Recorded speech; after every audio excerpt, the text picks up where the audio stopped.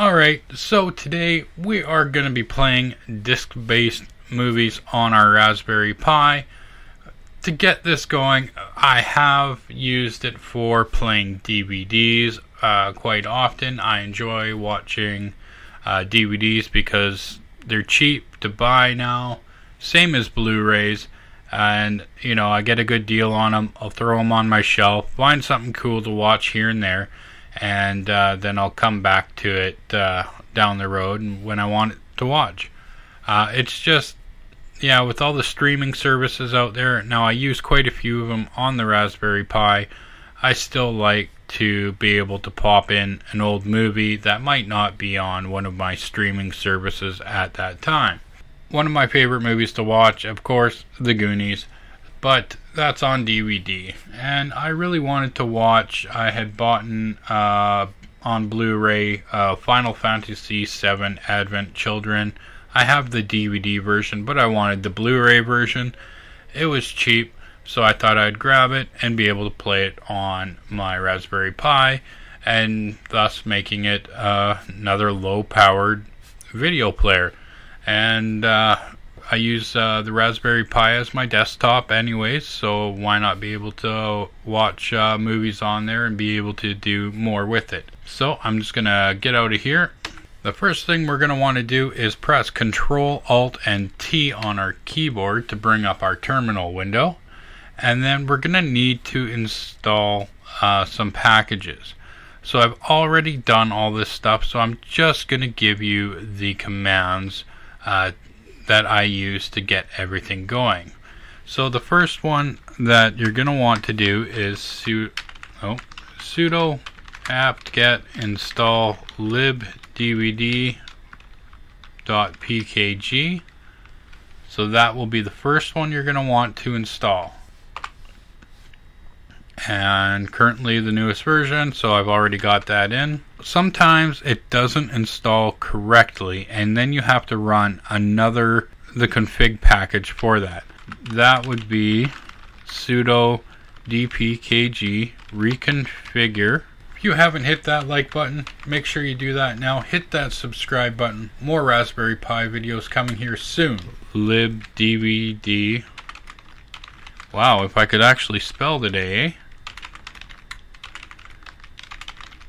There we go. libdvd dash pkg.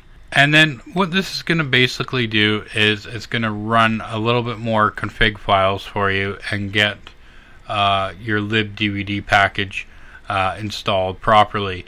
Because you might have had, um, it, it'll probably tell you when you do install that that you need to run this package or config as sudo uh, because some reason it just doesn't want to do it. So once you do that, uh, I won't press enter here because it's already been done. I'm going to get rid of that. The next one that we're going to do is sudo apt get install. Uh, if you already have VLC installed, don't worry about it. Just put it in.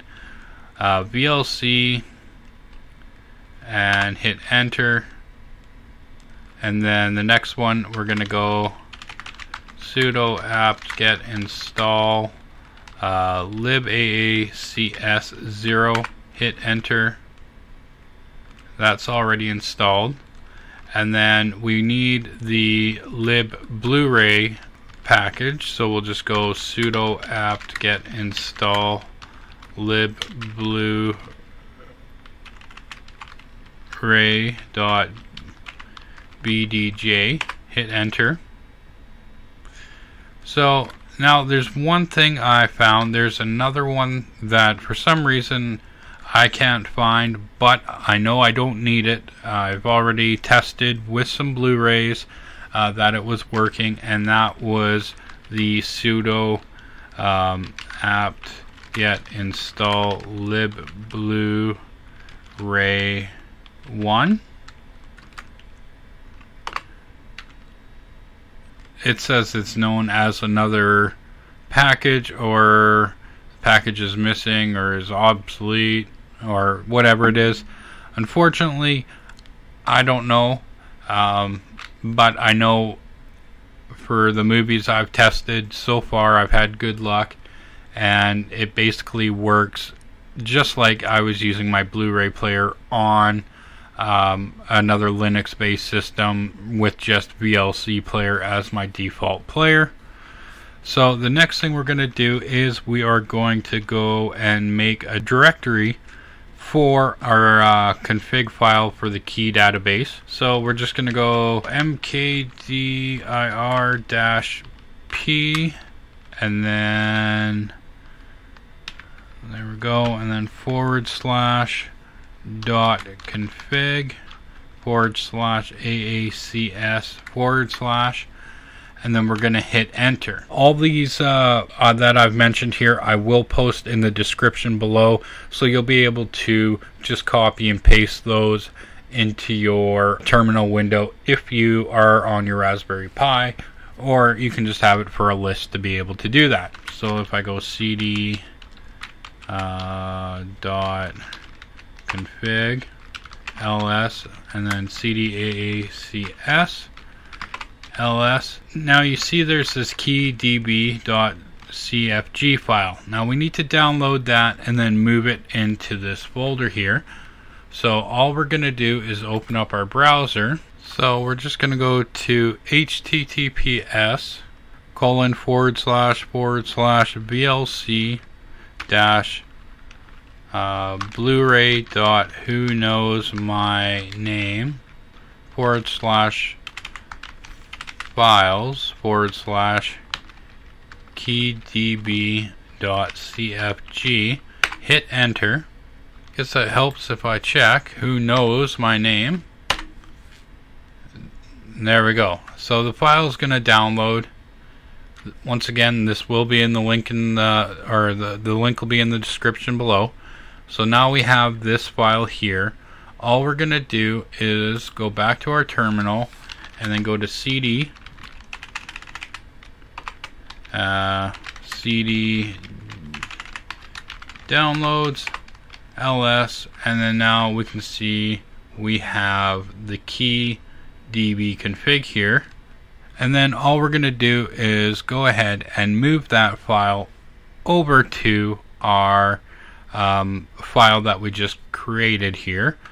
So all we're going to do to do that is just go sudo mv and then the file. I just hit K because there's no other K's and then I hit tab button and it filled in the rest. And then we're going to want to move that to our dot config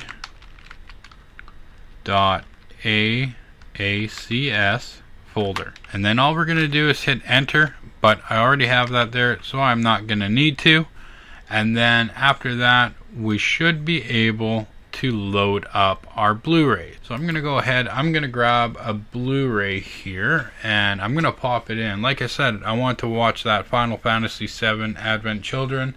So I'm going to go ahead now, pop that in there and hopefully it'll work. So we should see a little icon come up here. There we go. Notice with a Blu-ray it does not say open with VLC player. That's fine. We'll just go and open it ourselves.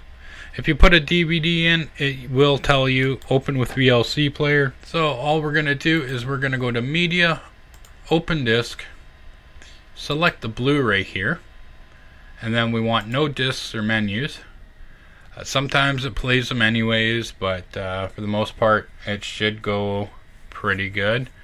Uh, you can change uh, a few of the settings in here to make it run better, uh, the caching options, stuff like that uh, for your playback. Uh, but I won't get into that today, but I can certainly do that later on. But for now, it's running alright, so I do know I have to tweak a few things, but here we go. Let's see what happens here. So there we go. We have Final Fantasy VII Advent Children on Blu-ray loading up here.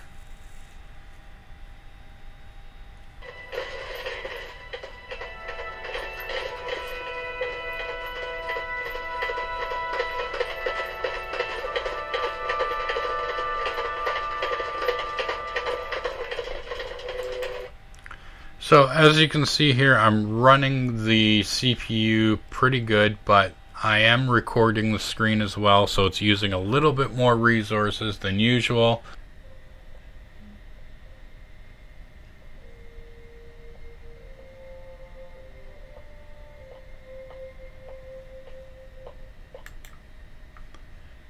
So anyways, I'm going to close that out.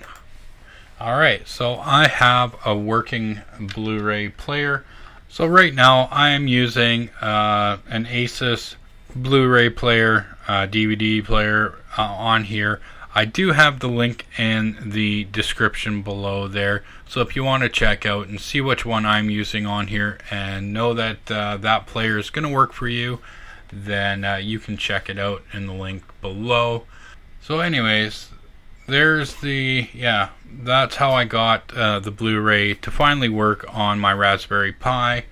Uh, I like I said, I still don't know what that lib Blu-ray one file is, or if it's actually needed because it is working. I think I've had out of a dozen movies, a couple of them not working. But uh, just so you know, not all videos are going to play correctly. Uh, but for the most part, you should have no issues. So if you haven't hit that subscribe button, make sure you do that now.